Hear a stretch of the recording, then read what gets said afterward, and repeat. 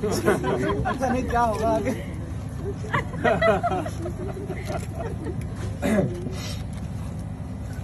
आपने हेबा कादिर को अपने हक निकाह में कबूल किया? नहीं किया। कबूल किया। इस चाँद के टुकड़े को देखते ही आरिज अहमद ने अपनी बीवी हिबा को जो है वो चूम लिया।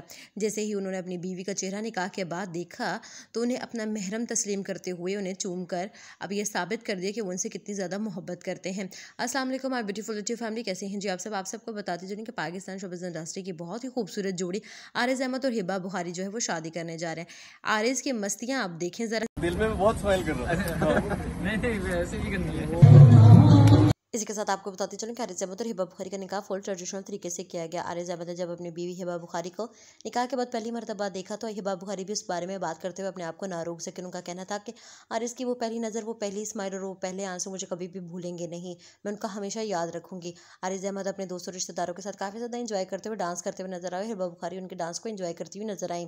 हिबा बुखारी और आरिज अहमद अपने निकाह के लिए बहुत ज़्यादा खुश थे और बहुत ही ज़्यादा एक्साइटेड नज़र आ रहे थे। दोनों बेहद हसीन और खूबसूरत लग रहे थे। आरिज अहमद की बीवी हिबा बुखारी किसी चाँद शहजादी और परी से कम नहीं है। दोनों एक दूसरे के साथ बहुत ज़्यादा हसीन लग रहे थे। हम दुआ करते हैं कि दोनों हमेशा इसी तरह से खुश रहें। अल्लाह पाक इनको हमेशा हमेशा खुश रखें।